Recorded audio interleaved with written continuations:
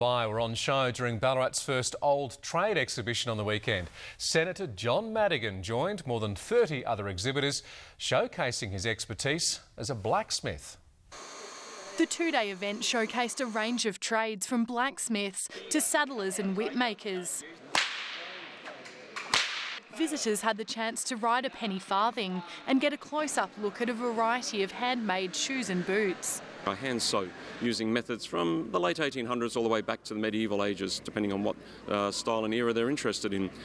But they're, they're designed for everyday wear. While the shoes can take anywhere from one week to three months to make, Duncan McHarg says the end product is worth the effort. The prospect of being able to make something for someone that fits them like nothing they've ever had before. Stuart Slater started calligraphy as a hobby. It's 16 hours a day, seven days a week. It's um, I have to have a pen in my hand. While some visitors reminisced about the past, just brings back old skills and what talents people had in the past and where we are today. Others gained hands-on learning.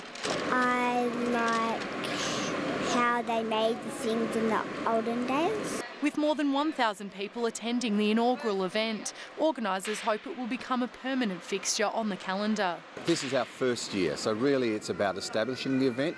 And I think the most amazing thing is that people have really loved coming along and watching a lot of these traditional skills, whether it's a blacksmith working or a wood turner.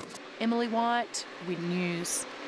And Wes Cusworth joins us now with sport. And Wes, it's a mixed bag from the weekend. That's right, Bruce. Thank you very much. Coming up tonight, the Roosters' winning streak continues, and Bash Boy once again powers to victory in the Grand National Steeplechase.